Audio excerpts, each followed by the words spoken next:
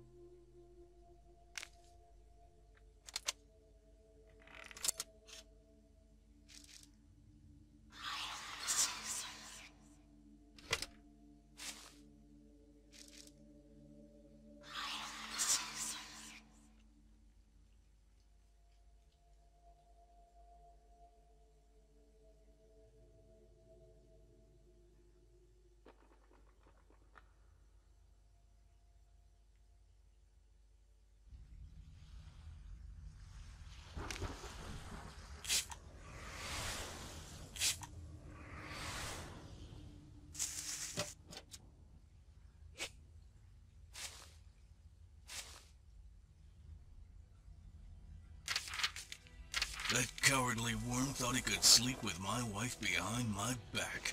Let's see how he handles dropping into an enemy ambush. She claims there was no affair between them, but what good is that now? He's dead, and good riddance. One of the sergeant's friends ratted me out to the military police, but no one could tarnish my spotless career. After all, I have friends in high places. This Blackthorn fellow invited me to his Holy Mountain Hotel to purchase some of his antique weaponry. They look authentic, and the price is a steal. I can't pass this up.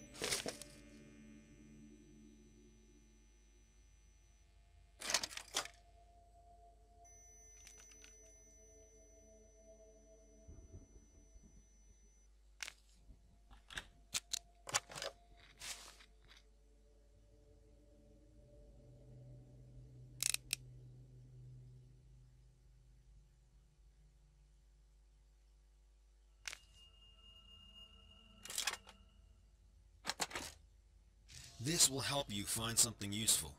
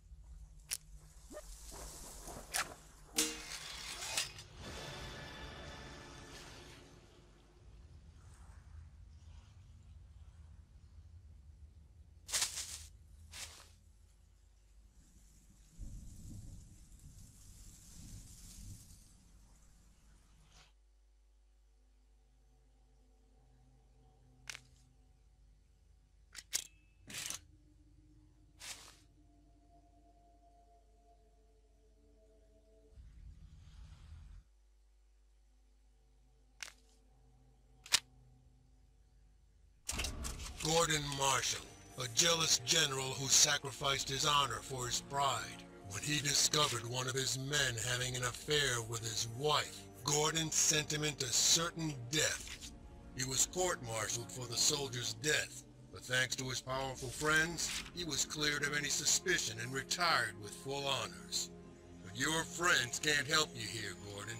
I sentence you to sue to suicide with the weapon you value so much.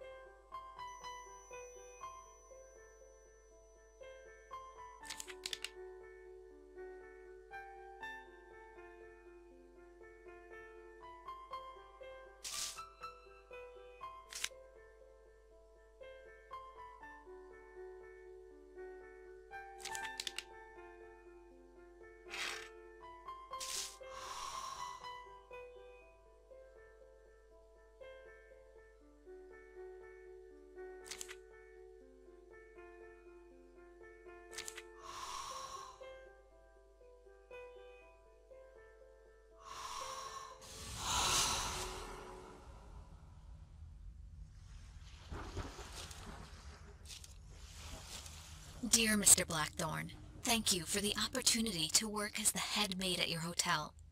Please accept this priceless heirloom as a token of my gratitude.